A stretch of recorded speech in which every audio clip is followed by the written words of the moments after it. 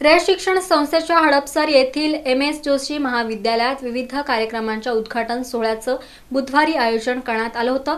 या कार्यक्रमात रयतचे अध्यक्ष शरद पवार यांच्या उपस्थितीत ज्येष्ठ अणुशास्त्रज्ञ अनिल काकोडकर यांच्या हस्ते उद्घाटन करण्यात आलं.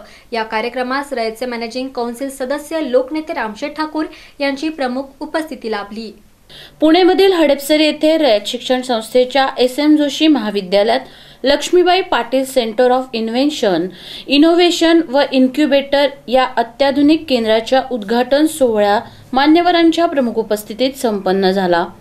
तसेच त्याशिवाय कर्मवीर भाऊराव पाटील एस एम जोशी व रामभाऊ तुपे यांच्या अर्धपुतळ्याचे अनावरण शताब्दी टॉवर आंतरराष्ट्रीय मुलींचे वसतिगृह व खेळाच्या मैदानाचेही उद्घाटन करण्यात आलं.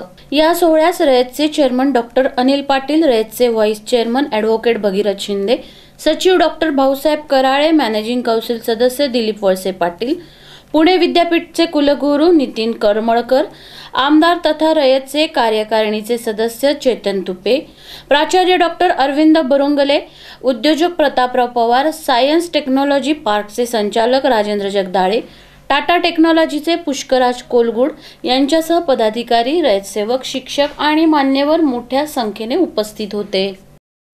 रयत शिक्षण संस्थेमध्ये दोन तीन टप्पे झाले. आणि अलीकडचा टप्पा हा आज जगामध्ये ज्याची गरज आहे ती गरज लक्षामध्ये घेऊन आत्मविश्वासानं वर आलेली पिढी तयार करण्याची खबरदारी या तिसऱ्या टप्प्यामध्ये आपण घेतो आणि त्या दृष्टीने एक महत्त्वाचं पाऊल या ठिकाणी टाकलं. अनेकांनी मदत केली त्याच्यामध्ये. ज्याचा उल्लेख या ठिकाणी केला की अशाच प्रकारचं सेंटर आपण नव्या मुंबईमध्ये खारघरला उघडलं.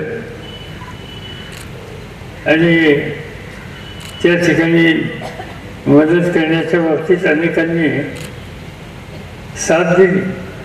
त्यातले एक या ठिकाणी उपस्थित आहेत रामशेठ ठाकूर.